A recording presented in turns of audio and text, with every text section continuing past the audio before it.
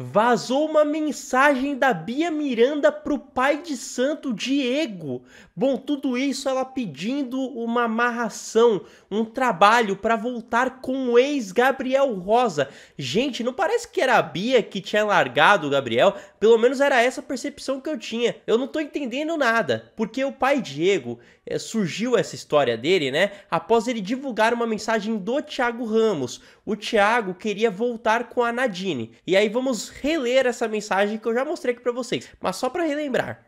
Oi, pai Diego, fiquei sabendo que o senhor atendeu Bia. Eu queria fazer aquele trabalho de união que a gente tinha conversado sobre Nadine. Vamos tocar ficha, não importa valor, eu pago e te divulgo ainda mais, quero ela nos meus pés. O pai Diego responde: Oi, Thiago, desculpa, querido, demorei para falar, pois estava em atendimento. Vamos reforçar sim, por mim tranquilo. E o Thiago, nossa, perfeito, gratidão. Ninguém aqui utiliza vírgula, né? Enfim, nós não sabíamos de qual Bia o Thiago estava falando, mas é claro que havia uma especulação de que se tratava da Bia Miranda, até mesmo porque o Thiago participou da Fazenda junto com a Bia e se tornou amigo dela. Então, assim, a Bia e o Thiago sempre conversam entre si e ela revelou para ele que fez trabalhos com os pais de santo ali. E assim, ele fala que a Bia, né? E não se sabia se ele estava realmente falando da Bia Miranda ou de outra pessoa. Só que agora ficou confirmado que de fato ele estava falando da Bia. Isso porque o pai Diego apareceu com um áudio falando ali sobre a Bia Miranda e sobre o que ela havia pedido para ele. O que mais surpreende é que lá na fazenda a Bia foi acusada de intolerância religiosa. A Deolane tinha falado para ela e sua mãe, a Jenny, procurarem a igreja para se unirem, né?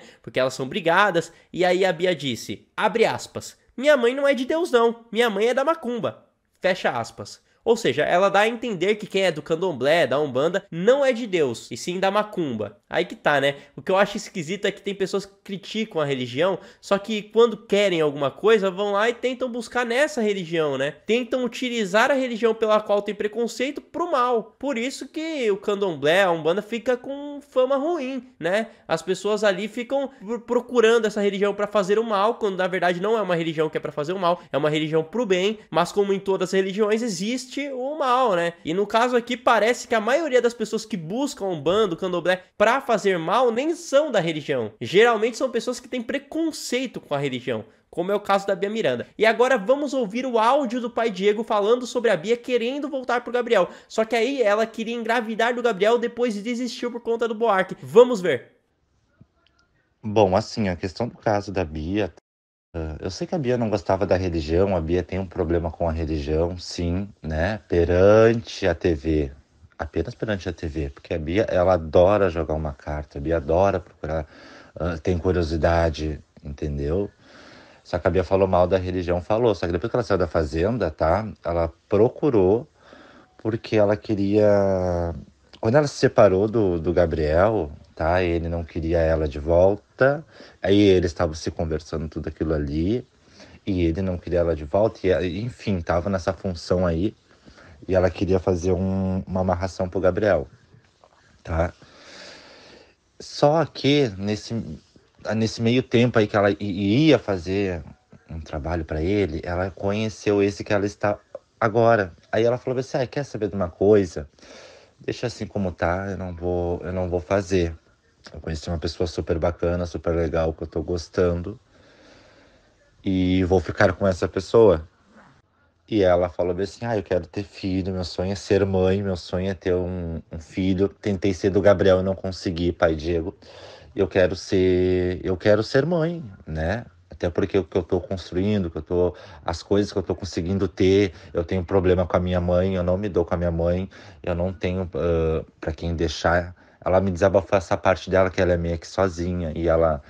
Enfim, aí foi jogado tudo, né? Eu falei assim pra ela, não, certo, Bia, vamos, vamos, vamos fazer um, um, um ebó, vamos fazer um trabalho, né? Pra te ser realmente essa criança, esse anjo, né? Te trazer uma alegria na tua vida, ficar ao teu lado, né? E teu sonho também ser, ser realizado de ser mãe. Então vamos embora, vamos tacar a ficha, tem problema nenhum. Dona Maria Mulamba, Pombagira, ela vai te ajudar nessa situação que tu quer e que tu busca.